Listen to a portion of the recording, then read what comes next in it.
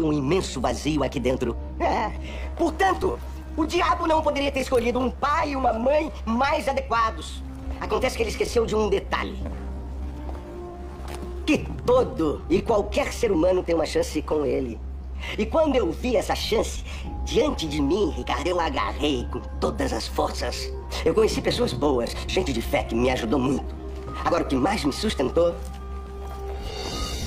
foi ela, a Bíblia. Você, o traidor. Ah, você se acha tão inteligente, né?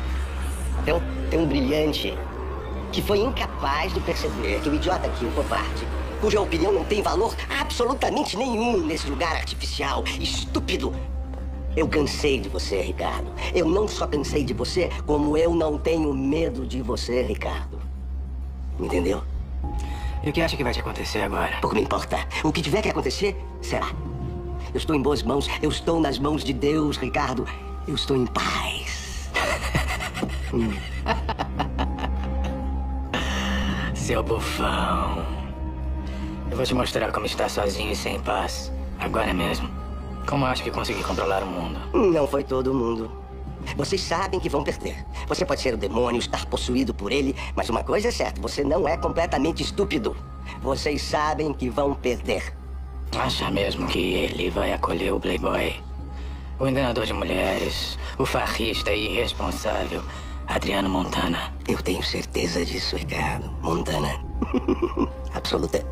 Ele disse, mas Deus escolheu as coisas loucas desse mundo para confundir as sábias, as fracas para confundir as fortes, e as desprezíveis e as que não são para aniquilar as que são.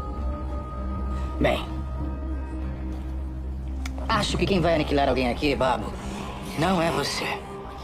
Digo fraco, eu sou forte. Digo fraco, eu sou forte. Quanta baboseira.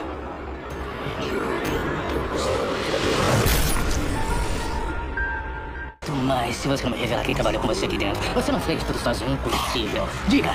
Quem ajudou? Eu não vou arrancar as suas tripas e te deixar descansando nesse chão, sofrendo miseravelmente. Nunca. Foi o Alan. Isabela. Débora. A transmissão. Android. Você quem sabe? Hum? Leva, meu Deus. Me leva em nome do Senhor Jesus. Morra, maldito traidor.